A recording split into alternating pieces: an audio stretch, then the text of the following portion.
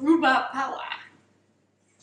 Hi everyone and welcome to my channel. Today I'm going to show you around my kitchen and I'm also going to bake some cookies with you. So if you're interested then keep watching. So a few of you have asked me to show you around my kitchen, to show you my storage and what kind of things I have. I don't have any secret uh, about storage in my kitchen.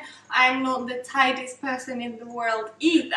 So really, um, I will show you how I'm storing my stuff and what kind of like unusual things I have in my cupboards.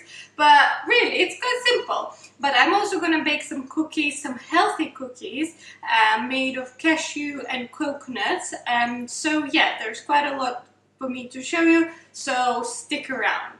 So I'm going to quickly show a few of our cupboards. Uh, here we have some glasses, some cups, all the teacups are here. There's nothing in here. And then here are the plates and bowls and things like that. Then here I store uh, really random things to be honest. So we have some tea here, I have some more tea. This is the Yerba Mate tea which I do really like. It's sort of like a type of a green tea. Then I have few baking things here, like baking soda, vanilla extract, things like that. Then this is mostly Jay's. There are chocolate, there are cookies, biscuits, mini eggs because it was Easter, uh, chocolate orange. This is his, like. And then higher up here we have some porridge oats. We have um, high fiber flakes. So this is like a cereal that I might have in the morning. Same with this, I do really like this one. It's called Mesa Sunrise um, and it's the flakes are made of corn, flax, quinoa and amaranth. I just prefer them to like normal corn flakes. I have some buckwheat flakes, I make porridge out of that in the morning. And then I kind of have like a lot of um, superfoods and supplements and things like that. For example, flax and chia seeds. Then I have normal chia seeds I have um, like a powder and this is just a blend of green powder so it's like spirulina, wheatgrass, hemp protein, things like that. Then we have some acai powder so I might make like a frozen bowl out of that in the morning. Um, and then there are some other powders as well. This one has all sorts of nice ingredients in it. Green coffee extract, acai berry raspberry, goji, rosehip flaxseed. So it's just really nice to use this because out of one spoon of that you get all the benefits of what's in it. And then there are some popcorn on the very top and there is also a juicer, blender, they're all kind of stuck behind. So that's it for this cupboard. This one is definitely my favorite cupboard. And there is tea. This is all tea. There is green tea, Earl Grey, matcha.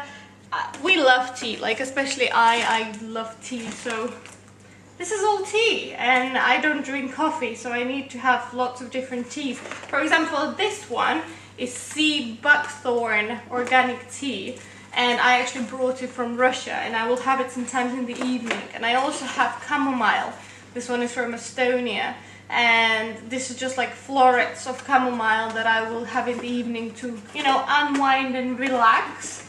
So and then there's this cupboard which is very much overloaded but this is the cupboard that I use the most because there are all the spices all the nuts there's some oils here. I have some dates for snacking, some seaweed for snacking, uh, a massive jar of coconut oil, uh, coconut nectar, which I use sometimes instead of honey. Hello. I have some spices here, turmeric, oregano, uh, some more nuts. I have pistachios, I have pine nuts. Um, what else interesting is in here? Oh yes, this. For example, this is wheat berries, so they're cooked with berries, and sometimes I will buy quinoa or lentils like that, so it's much easier to make salads because it's already cooked, because grains like that, and um, they just take so long to cook. And I have some naughty things like the um, hazelnut spread, but this is organic natural hazelnut spread, so there's actually nothing else but the hazelnuts, but it kind of tastes like Nutella. Um, I have some honey, more nuts, tahini, for my salad dressings and things like that. Peanut butter, all sorts of things like that. And then the last cupboard is overloaded as well, as you might have guessed, or as you might see. But this is all the grains and all the like porridges and things like that. And also there is that, which is the yeast flakes. And this is the um, like a vegan food that has, you know, it has very cheesy taste to it. Um, and then and they also have vitamin B12 in them. And sometimes when I make kale crisps, I will put some of that and it kind of gives them a bit of a cheesy taste.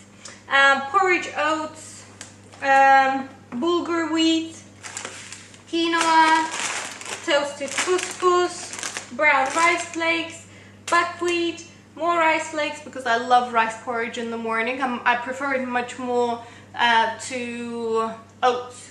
Then I have some apricot, flour, um, coconut flakes, sunflower seeds. What else? Pasta. We have pasta because we love pasta. Nothing wrong with a bit of pasta. Millet, which I do love very much as well. And some jars of mushy peas because Jay loves mushy peas with his fish. And he also loves rice pudding. And then I also thought I will show you what I have on my stove. At the moment, I have a lot, a lot, a lot of hot cross buns because it was Easter on the weekend, so we are just drowning in hot cross buns that no one will probably eat because I don't actually eat bread. And um, I might have one as a treat. And then I have some garlic, some ginger root for my turmeric tea and for just tea in general. And then here I have some more oils. I have olive oil, I have sesame oil, I have some vinegars, salt, balsamic vinegar, uh, sea salt, like really chunky one for cooking, some tools in here. And then we have our fridge. Our fridge is not very big here, but it's just enough to be honest. I have a cake here, which I have baked yesterday and this is a rhubarb cheesecake and you can actually find the recipe on my Instagram. I have shared it with you already. Um, what else do I have here? We have some milk, like there's almond milk, there's normal milk for Jay, there's some wine for me. Um, otherwise, it's just there's a lot of vegetables at the bottom, there are some fruits at the top, there's yogurt, uh, pomegranate seeds, um, mascarpone I can see because Jay likes to have that with his pancakes. And then I have another cupboard here and I have more flowers and more things that I use for baking here as well. For example, spelt flour, I have beetroot powder, spinach powder, I have a big bag of almonds, I have um, psyllium husk, which I add to my bread if I bake bread, and also I add them to my smoothies. It's very good for your um, metabolism as well. Um, what else do we have? We have more millet. I have uh, chickpea flour, I have rice flour, I have buckwheat flour, I have, um, what is this? This is corn flour. I didn't even know I had corn flour. I have some cocoa nibs, I have some golden berries, pumpkin seeds, all sorts of things, but I do promise I do use them. Some coconut and milk as well and some coconut flour there too because if you do follow me on Instagram you know that I bake quite a lot and I try to use um, you know alternative flours to normal wheat flour uh, like white flour because it's bleached it has no nutrients in it whatsoever and all of this actually does so you know I try to make an effort then I have my little boxes with my matcha set. Um, this is my turmeric milk box. It has turmeric root in it, it has pepper, it has cinnamon. So when I make turmeric milk, I just get this out. Then there is some Cocoa Pops for when Jay's son comes around. And he's the only one who eats that, but we always have it. Have some rice here. So there are some like tomatoes, things like that. Um, yeah, there's just food. There's just all sorts of weird foods in the house. And then in this cupboard, I have some supplements. I have my omegas, more omegas, um, metabolic support from Advanced Nutrition Program. Um, I have antioxidants, things like that. And then here there are trays. There's wine, there's champagne, but it's mostly the like the bottles that people give us for some kind of holiday or occasion and it never gets drunk because I buy a bottle of wine and it sometimes lasts me a month because that's how much of it I drink. And then here I have my fruit bowl. I have just bought some rhubarb because it's in season in UK. I have some um, passion fruit, oranges, a butternut squash, bananas, avocados. Then I have a like a little plate of tomatoes and I love these tomatoes. Um, because they're all so colorful and I don't know, things like that just make me really happy. But that is pretty much it. I mean, I could go more detail and also I thought if you guys want, I could do a video about my favorite superfoods and things like that. So let me know in the comment section below if you would like a video like this. But now let's bake some cookies.